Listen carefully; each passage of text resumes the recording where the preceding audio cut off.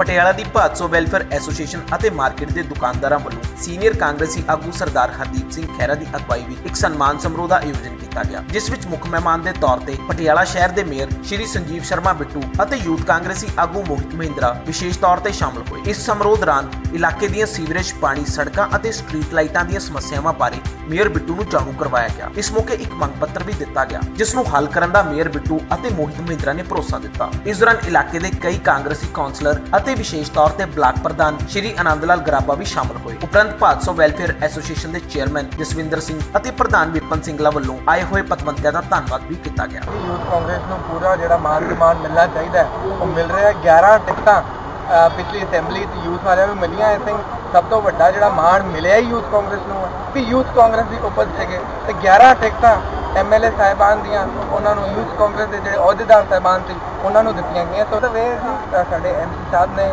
ਮਿਲ ਕੇ ਜਿਹੜੇ ਕਾਲਨੀਜ਼ ਹੈਗੀਆਂ ਨੇ, ਉਹਨਾਂ ਦੇ ਆਰਡਬਲਯੂਏ ਦਾ ਗਠਨ ਕੀਤਾ ਤੇ ਮਾਰਕੀਟ ਐਸੋਸੀਏਸ਼ਨ ਦਾ ਸਾਰਿਆਂ ਨਾਲ ਰਾਏ ਕਰਕੇ ਗਠਨ ਕੀਤਾ ਤੇ ਆਉਣ ਵਾਲੀ ਜਿਹੜੀ ਪਲੈਨਿੰਗ ਹੈ, ਜਿਹੜੀ 5 ਸਾਲ ਦੀ ਅਸੀਂ ਕਰਨਾ ਚਾਹੁੰਦੇ ਹਾਂ, ਜਿਹੜੀ ਸਰਕਾਰ ਦੀ ਸੋਚ ਨੂੰ ਅਸੀਂ ਥੱਲੇ ਤੱਕ ਇੰਪਲੀਮੈਂਟ ਕਰਨਾ ਚਾਹੁੰਦੇ ਹਾਂ, ਉਹਦੇ ਵੱਲ ਇੱਕ ਵੱਡਾ ਕਦਮ ਹੈ। ਪਟਿਆਲਾ ਤੋਂ ਪੰਜਾਬੀ ਸਰਗਰਮੀ ਲਈ ਕਮਲਜੀਤ ਸਿੰਘ ਦੀ